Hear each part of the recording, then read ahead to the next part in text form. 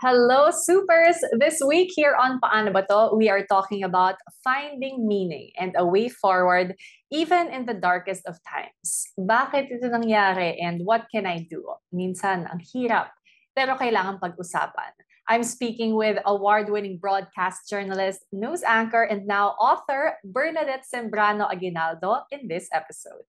Very relevant to everyone listening to paano ba to, finding meaning. I mean, that is like such a powerful driving force kasi parang feeling ko whenever, again, we go through something in life, finding meaning is always that driver. It's always that parang it keeps you going. So can you share with us what finding meaning means to you? I guess para kung tubig talaga, girl, na parang if hindi pwedeng diretso, I'll find I think I'm more that. Yung parang makakahanap ng ibang, kung hindi pwede to, hanap ako, tuloy lang. Gets mo? Yung water, di ba ganon? Yung kung hindi pwede to, pupunta siya sa kung saan may butas na pwedeng pagsingitan. As long as you know that you did everything that you could. This is what I noticed, Bianca. I've been to different places in the country. Yung mga lugar na mas nagdadasal, mas nakaka-cope easier and with much lightness. I'll just say it's Bohol, not to compare it with other areas. May kanya-kanyang strength bawat areas na napuntahan ko. But in Bohol, it's their faith na nagpunta ako doon, parang dahil madasalin sila doon na parang feeling nila nagiba yung mga churches nila because they're being called to go back to church. Na nagdadasal sila. It was a calamity area, but may hope pa alam mo yon So, para it was really hard to explain. Same with people na may sakit tapos nagdadasal. Kapag may Diyos ang tao, mas nakaka-cope na alam na may plano sa'yo ang Diyos. And alam ko rin sa mga Western books, sinasabi nila anybody with that spiritual anchor, mas nakaka-cope din talaga than doon sa mga walang Diyos. So, that's my witnessing naman. That's why this book happened. Kasi ang common theme naman sa lahat ng mga taong in a bad place, kapag may Diyos sila, parang nagkakaroon ng dahilan to keep on going parang mas may context. That light, that hope. Yeah, yeah you say you share many stories in this book na parang ganun nga. And I actually don't know if you're aware, pero si Finding Meaning, nalaman ko lang din to sa pandemic because I was listening to the podcast of Brene Brown. So merong tinatawag na five stages of grief, right? Denial, anger, bargaining, depression, acceptance, mm. I believe. And then si David Kessler came up with a sixth stage. Sabi nila, usually after acceptance, parang So, what's after acceptance? Closure lang ba? So, David Kessler did research, did studies, and defined the sixth step as finding meaning. Oh. It's the sixth stage of grief according to him. Mm. Yes. Kasi parang what happens after something... Natanggap mo, yeah. yeah. Finding meaning. Yeah. So, I mean, seeing all the stories that you saw on the ground, and you mentioned this in your book nga na parang sometimes you can't help but acknowledge na you're going through something hard but they're going through something harder but then valid pa rin naman yung pinagdadaanan mo. How has your field work through the many, many years informed your process of finding meaning with the difficult things that happen in your life? Well, kasi anong magagawa mo kung hindi pwede? Basta importante, ginawa mo ang lahat. And yeah. if you've done everything, and wala pa din, definitely may plano ang Diyos sa'yo sa ibang bagay, right? Mm-hmm. I mean, for sure. Yeah. For sure. So, again, you go back to gratefulness. Gratefulness na minahal ka ng asawa mo in spite of everything.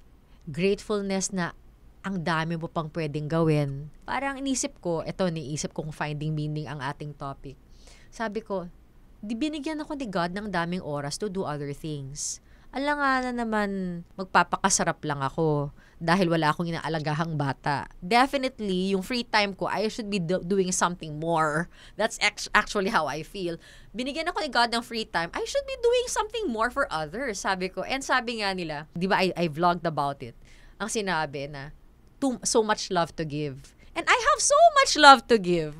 Exactly. Sabi ko, hindi ako mag implode Dapat palabas pa rin. And ang yeah. paniniwala ko, kapag nasasaktan tayo or when something traumatic happens, sabi ko, minsan bumabalik tayo sa self-preservation. Nangangalyo na tayo. Mas lalo kang nabubulok inside when you do that.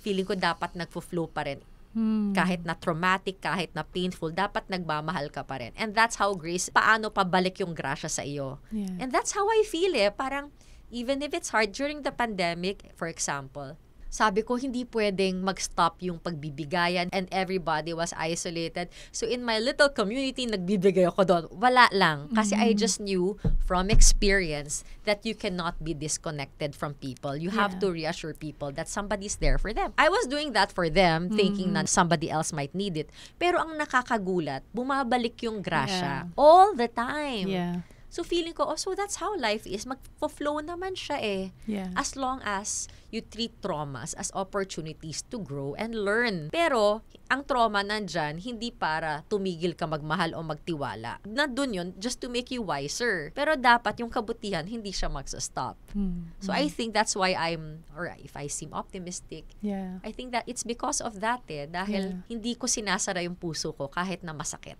Yeah. Yeah. Yeah, that's so beautiful and that still ties to the flowing like water metaphor you gave earlier that you're you're always like water. Pasok na pasok pa rin yun. And I remember actually that first time that you guested on on Paano Ba To, um, when you were talking, naalala ko din something beautiful you said there. And you can search for this on YouTube. Just type Paano Ba To, Bernadette Sembrano. you mentioned this naman about your dad and it was actually him and your desire to honor him that you started singing. Yeah. And now you're like a legit singer. Guys, you can search for her on Spotify as in Bernadette Sembrano.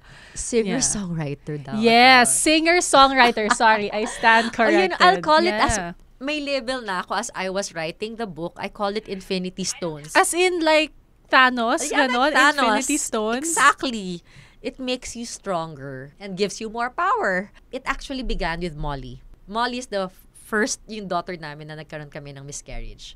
When we lost Molly, I told myself, how will I honor her? Paano ko siya mamahalin kahit wala na siya? In honoring her, I live the life that I hope for her.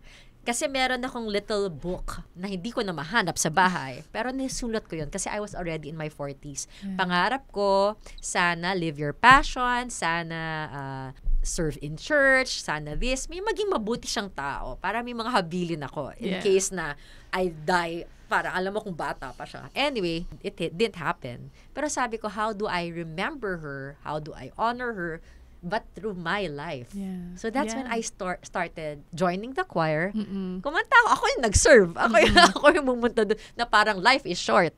So napunta ako sa choir ngayon. And blessing din na I was prayerful, na meron akong relationship sa Diyos at saka sa, meron akong support group sa choir. Papa naman passed away. So sabi ko, oh, how do I honor Papa? Sabi ko, sige pa, whenever I sing, I rem- I'll remember you. O di, yan na nga, Papa passed away. Kanta pa rin ako ng kanta sa choir. Kasi in my heart, sige, I'll remember Papa whenever I sing. Nakakatulong pala yon when you do something in honor of someone that you lost. So, kanta ako ng kanta and then I started hearing music. And then, naging songwriter ako. Tuloy pa din. Adi, sige. And then, this happened. Natapos ko yung book. The third bubog is this one, yung hindi nagtuloy yung, yung, yung implant ng embryo. And I finished the book. So, sabi ko, it's for you, actually. Siya, Sa kanya nakadedicate. I love you. I don't know what will happen. Yeah. I, nakapos lang naman ako. But feeling ko, dapat tuloy lang yung pagmamahal. Yun. So, parang, I finished the book. So, parang it's always honoring someone. Ayoko nang may honor. Baka kung ano pang magawa ko. okay na to. Quote na to. May libro na tayo. Masyado nang, alam ko marami akong daliri, pero tatlo na yon na major. Um, but, but Yeah. that's really how I see it. Pag mahal mo ang isang tao, dapat paliwanag, lumiliwanag ka dapat dahil mahal mo, hindi dumidilim. That's so beautiful. Diba? Eh, mahal mo nga eh. And that person will always be part of you. Mhm. Nobody can take that away from you. Yeah. Diba? Parang even if you forget them, they will always be part of you. Yeah. And how can you glorify them or even remember them by but with the life that you live? Yeah. So yun yung disposition ko. Yeah. Yeah. Yeah. And now immortalized through songs, through a book, and through whatever it is na Oh my gagawin God, pa ni Ate B ako. in the in the coming months, in oh the my coming gosh, years. ayoko na ng bubog sa podcast. Ah. Magpa-podcast ako kahit wala pang bubog. ah.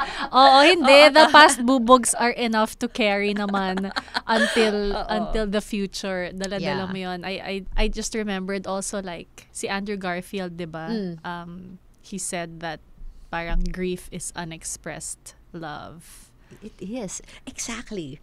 Nasabi ko, no matter how painful it is, alam mo how I see it? If it's so painful, and it is physical pain that you feel, no? Sabi ko, ay, ganito kalaki yung pagmamahal ko. Mhm. That's why it hurts. Yeah. Ang laki ng pagmamahal mo, even the void. Can you imagine how big that love is to create such a void in your heart? Eh, pag pinalabas mo, ang dami mo pa mabibigay. Mm-mm. 'Di ba? Kung maramdaman mong ay ganito katindi yun. Sabi ko nga, you, the pain will never go away naman talaga. Mhm. You just live with the pain. Yes. 'Di ba?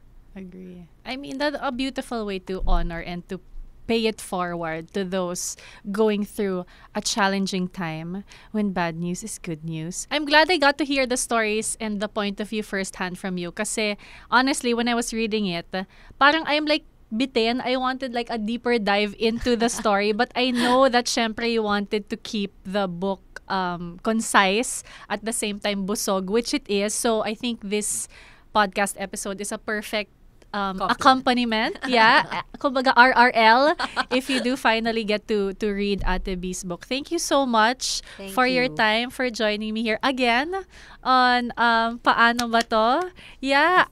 I just want to ask like one final advice to everyone who is listening who might be going through something challenging. I know that you've talked about gratefulness a lot and I 100% agree with that. But yeah, to anyone listening to this right now, watching this right now who's going through something tough, um, do you have words of wisdom you'd like to share with them? Well, nothing is easy. Wala naman talagang madali. Pero ang sabi ko nga, celebrate your bubog. Celebrate your your brokenness even. Hindi siya liability, hindi siya minus. In fact, if you embrace it and learn from it, process process it, feeling ko like the song that I wrote, bubog ka pero diamante ka. Hmm. Yeah.